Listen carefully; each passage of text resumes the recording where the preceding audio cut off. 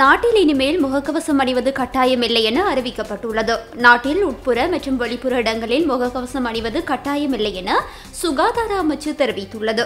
இது தொடர்பில் சுகாதார சேவைகள் பணிப்பாளர் நாயகத்தினால் விசேட சுற்றறிக்கை ஒன்றும் வெளியிடப்பட்டுள்ளது. இதற்கமைவாக நாளை முதல் அமலாகும் வகையில் இந்த உத்தரவு பிறப்பிக்கப்பட்டுள்ளது.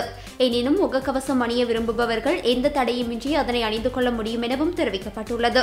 அத்துடன் சுவாச கோளாறுகளால் பாதிக்கப்பட்டவர்கள் முகக்கவசம் அணிவது பொருத்தமானது எனவும் சுகாதார சேவைகள் பணிப்பாளர் நாயகம் தெரிவித்துள்ளார்.